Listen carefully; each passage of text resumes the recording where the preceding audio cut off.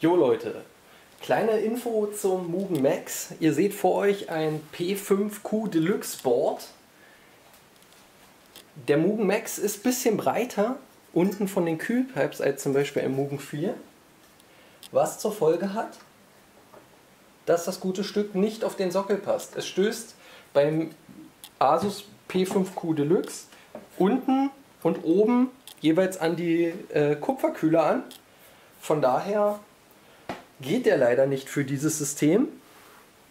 Nur mal so eine kleine Info für euch am Rande und hoffe, ihr könnt was draus machen. Grüße, Simi.